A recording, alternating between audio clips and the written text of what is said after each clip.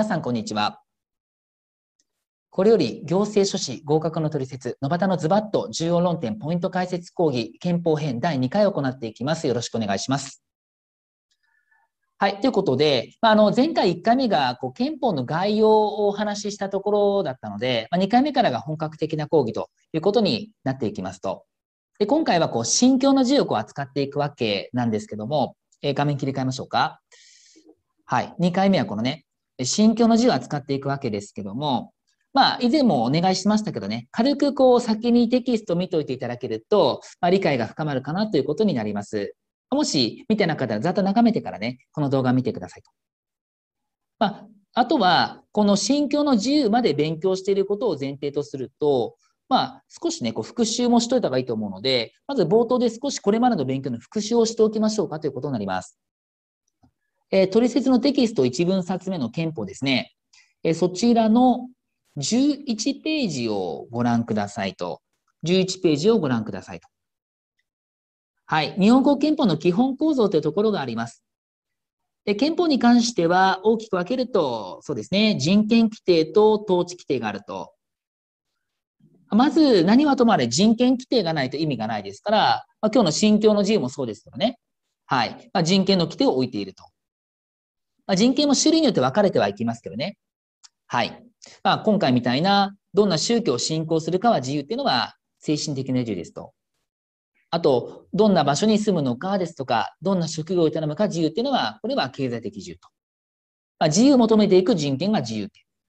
そしてまだ勉強してない方もいらっしゃると思うんですが、まあ、社会権ですね。生活保障を求めたりですとか、より良い教育を求めていく社会権というものもありますと。他にもあるんですけどね。まあ、今日はいいでしょうか。そして、統治規定ですよ。やっぱり人権守る守るといっても、権力が一つに集中していては守られませんから、まあ、権力を分けてお互いに監視するという形で、国会内閣、裁判所、司法に分かれているということですね。はい。そんなことを、ま、これまで勉強してきて、これから勉強していくということになります。では、自由権としての精神的自由、この中の信教の自由、見ていきたいと思います。はい。では、テキストが、失礼、45ページを出してください。テキスト45ページを出してください。この信教の自由なんですけども、えー、2016年にこう出題がされて以来、まあ、出題がないところなんですね。まあ、ただ、収録してる時期が、今、2021年試験の前なので、2021年に出てしまうと、皆さんが受ける22年は少し需要度が落ちるかもしれませんが、まあ、ただ、今のところはよく出ると言いますかね、試験的に重要テーマということになっていきます。はい。じゃ、この信教の自由に関しては、憲法20条が根拠ですよとあります。まあ、具体的に下の方で確認していきますと、3つの意味がありますね。どんな宗教を信仰するかは自由だ。まあ、どんな宗教活動をするかは自由だ。どんな宗教団体を結成するのかは自由だということになりますね。少しこう書いておくといいんですけども、例えばこのどんな宗教を信仰するかは自由だというのは、こう、ちょうどこの隣のページですかね。44ページに、こう、思想良心の自由がね、少しこう映ってると思うんですが、この思想良心の自由で、ある程度カバーできると思うんですよ。ね。どんな思想を持つかは自由だということと、どんな宗教を信仰するかは自由だというのは、基本似てますよね。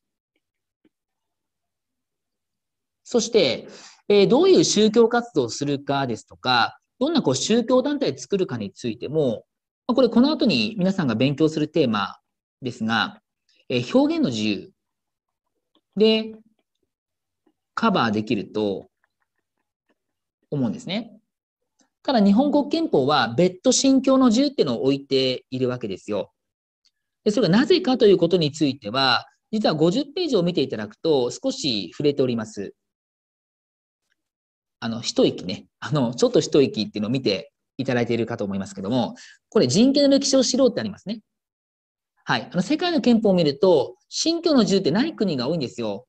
別になくてもなんとかなるからねっていうことなんですね。ただ、日本ではまあ、古くは江戸時代のキリスト教弾圧ですとか、明治以降のまあ、国家と神社神道ね、天皇をこう結びついて考えるってところから、まあ、この反省として信教の字をちゃんと作って書いてるんですね。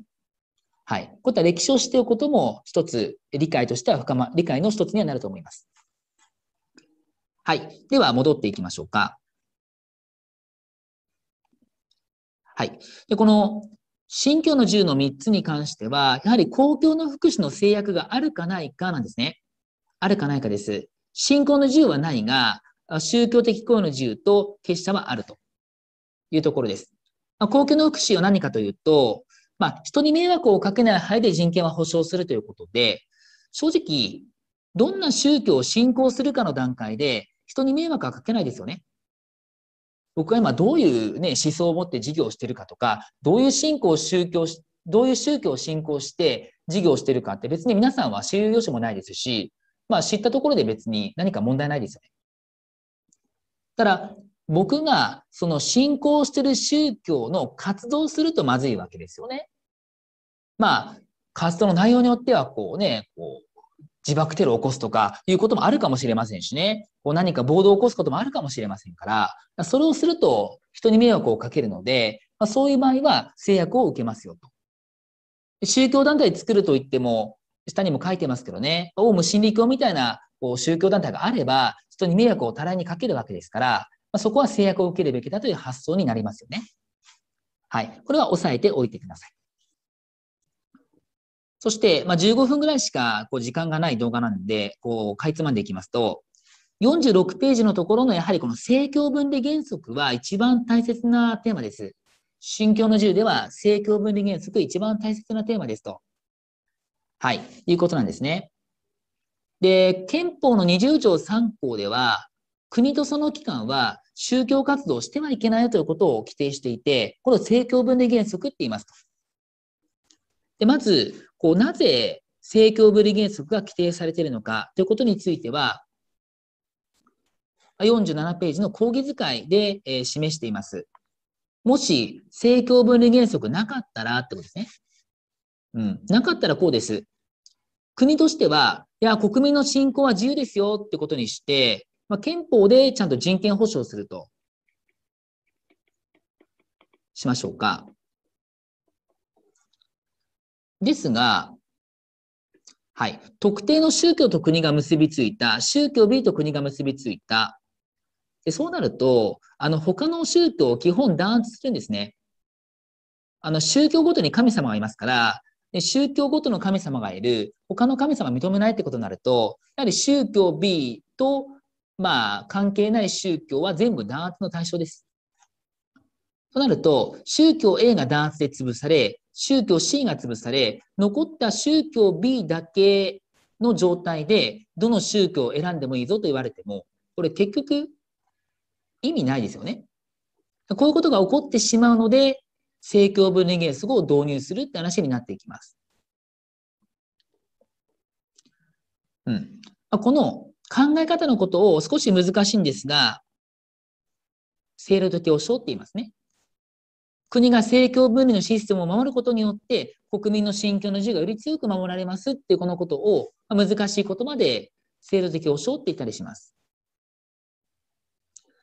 ただこの政教分離原則は、こう、どこまで関わっていいか、いけないかっていうところで、まあ問題とはなってくるんですね。どの程度まで関わり合いを求めるか、認めるかが問題だと。まあ、つまり、こう全く関わっていけないっていうと、国と宗教が、こういう問題が生じます。例えばですが、例ね。失礼。あの、文化財ですね。文化財保護です。あの、国宝とかね、重要文化財ってありますけど、文化財を保護するっていう話になると、文化財ってあの神社とかね、こう、お寺さんとかが、こう、所有してる、こう、ものに対して、こう、国宝とか、こう、指定するわけじゃないですか。となると、それを守るために、ま神社に対して、こう、お金出しますとかね、お寺にお金出しますって言うと、それって国と宗教を結びついてませんかってなるんですね。それを全て禁止すると、文化財守れないわけですよ。となると、国と宗教の結びつき全く禁止するのはまずいだろうと。じゃあそれを前提に、どこまで関わってよくて、どこから NG かの基準をしっかり作らないといけないと。で、その基準こそが、まあ、この試験でよく出てくる48ページの下のところにありますが、はい、目的効果基準って言いますね。はい。まあ、国と宗教の関わり合いとしては、相当限度を超えてはいけないんだ。相当限度を超えてはいけないんだということで、じゃあ、相当限度を超えるかどうかの判断基準はというところで、はい、出てきます。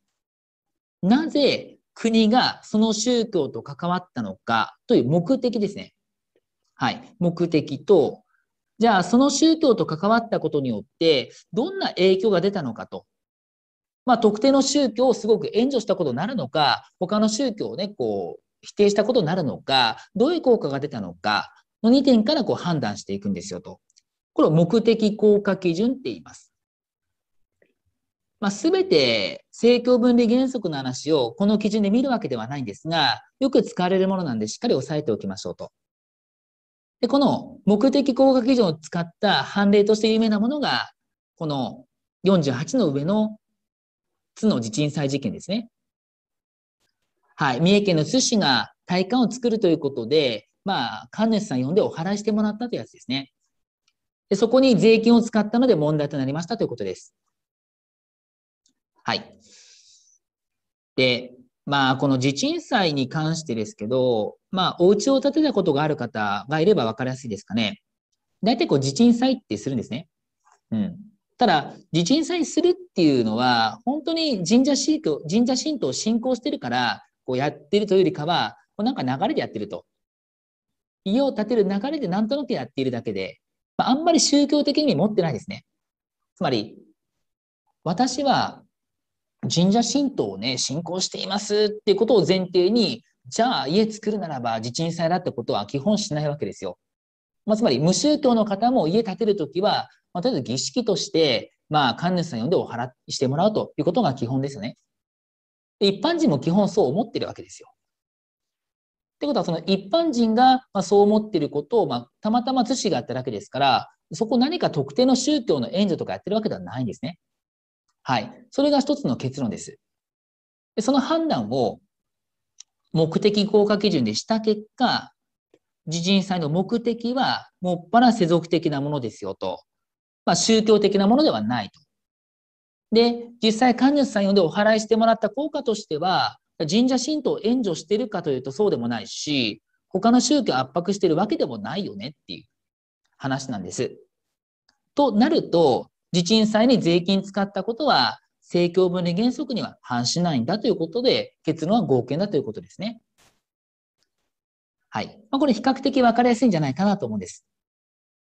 で、これと必ず比較してほしい判例が、え次のページにある愛媛玉串料事件ですね。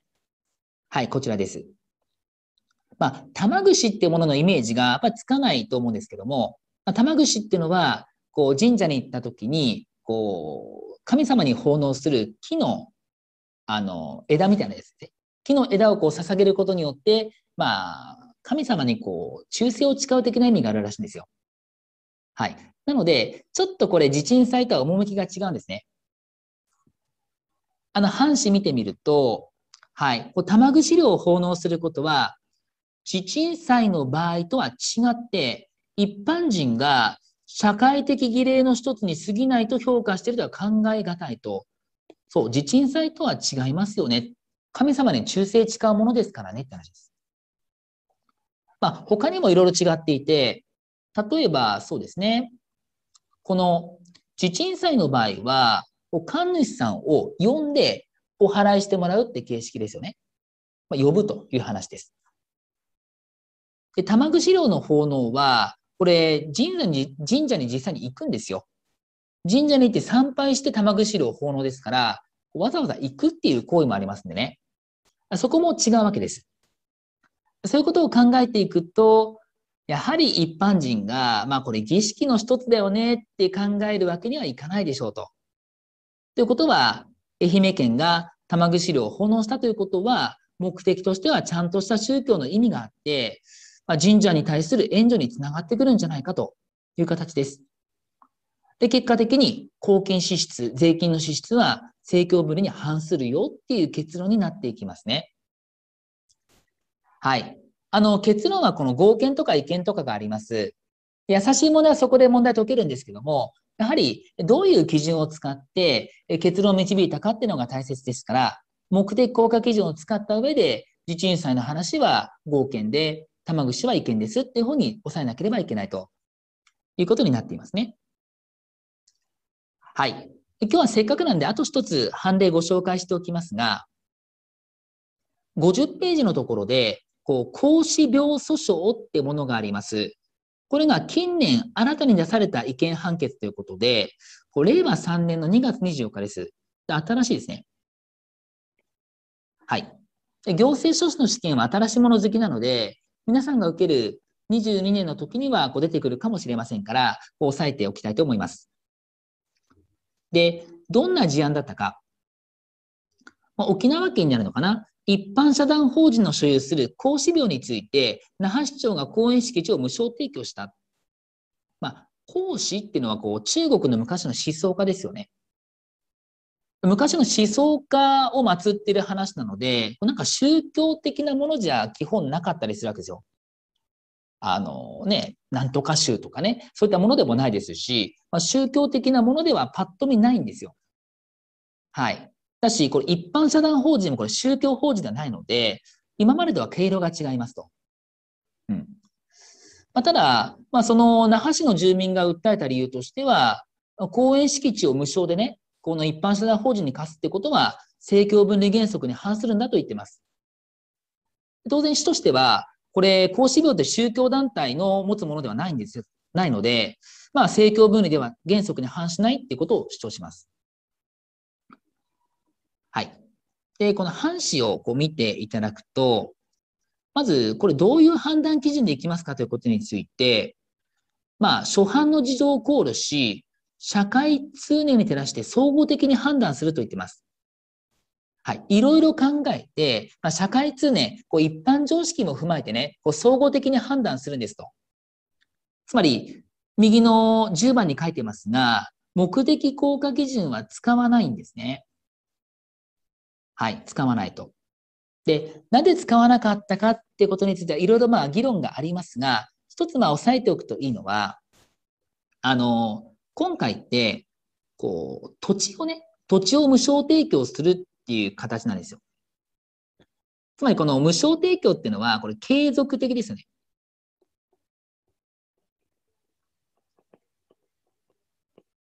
つまり、地鎮祭ですとか、玉串料の納付、あれは一回ポッキリじゃないですか。でも、この土地の無償提供ってこれずっとやってますよね。一旦提供したらずっとこう貸し続けるわけですから、この継続性がある。まあ、そういうことも一つの理由として、目的効果基準使わなかったっていう話です。他にもありますけど、試験にはそこは聞かないので、はい。まず継続的なものだから経路が違うぞっていうことで、目的効果基準使わなかったのかなっていう考えでいいです。でそうなると、まあ、いろいろ考えて判断しろと言ってるんですね。でこういろいろ考えていく中で見えてきたのが、こう、孔子廟で、孔子の生誕の日にお祭りするわけですよ。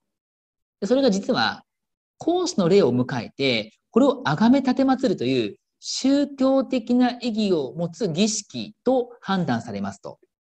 はい。そういう判断ですね。まあ、私、孔子廟行ったことないんですけども、なんか写真とか見ると、なんか神社とほぼ変わらない雰囲気なんですよ。ね、神社とほぼ変わらない雰囲気で、神社で行うような儀式とほぼ同じことをやってるとすると、一般人から見ると、なんか宗教っぽく見えるわけですね。はい。ですから、こう、一体として宗教性を肯定することができてしまうんだと。いうことを言われます。あと先ほどお話ししたように、こう継続性ですね。設置期間、許可の期間は3年ですけども、何事もなければ更新できるので、ずっと利益を享受することができるよということも少し問題ですよね。はい。なので、いろいろ考えた結果、こう無償提供は政教分離原則に反するよということで違憲判決なんですね。はい。目的効果基準を使わず、総合的に判断した結果、これは違憲ですって話なんですよ。はい。まあ、一応解説にも入れてますが、孔子廟っていうのは、まあ、観光資源としての意味があるとか、歴史的な価値もあるので、まあ、あの、孔子廟が那覇市にあれば、那覇市の観光的にいいぞってこともあるかもしれませんけど、だからといって無償で土地を貸しているわけではないでしょうねと。やっぱ宗教っぽいことをやってますから。ま、それも違憲の理由の一つなんですね。はい。これを孔子病訴訟と言いますと。はい。ことになりますね。まあ、今回はこの辺りでえ終えておきたいんですけども、はい。どうでしょうか。あただテキストを見ている状態と講義を聞いた状態で新たな発見はありましたかねもちろんあってほしいんですが、まあ、その新たな発見がやはり次につながっていきますので、この発見はね、こう皆さんでも感じることができます。つまり、1回目テキスト見ただけでは分からなかったことが、2回目、3回目見ていくと分かることがあるんですよ。それが新たな発見ですね。特に、まあ、憲法も含めた、まあ、行政書士全体的な科目なんですけども、あの、1回だと分からないですね。1回全部学習して戻ってくると繋がってくることもあるので、それが新たな発見です。ですから、とにかくテキストは繰り返し繰り返し読むことが大切なんですね。はい。で、そのことを忘れずに頑張っていただきたいと思います。では、第2回目の講義は以上となります。また次回よろしくお願いします。お疲れ様でした。